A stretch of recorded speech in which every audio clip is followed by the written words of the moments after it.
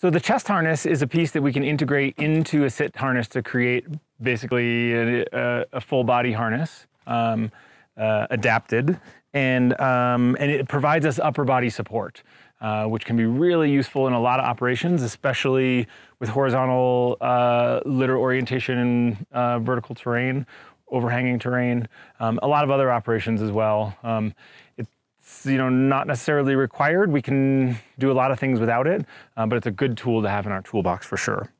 Um, so these uh, chest harnesses that we have, we've gone ahead and put a ring on them as well as we have a, a short uh, short sling and a, uh, a screw link here, a quick link.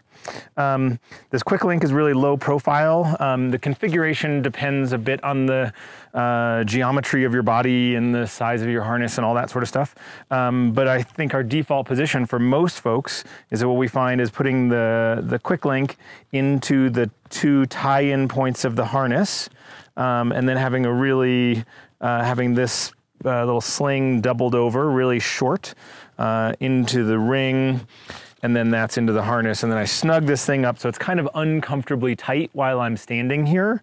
Um, and then the way I can connect myself to that for my primary is that I'll go ahead and take this and I can connect right into those two and that will give me a snug attachment into this thing so that when I'm hanging on it, when I'm hanging on it, I can't really go over backwards without a whole lot of, uh, without, without quite a bit of effort to do so. It still has a lot of the weight in my sit harness, so it's still comfortably uh, on my, on my, uh, on my lower body here.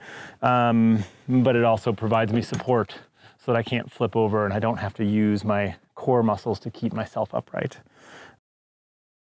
The chest harness is a great tool to have in our toolbox.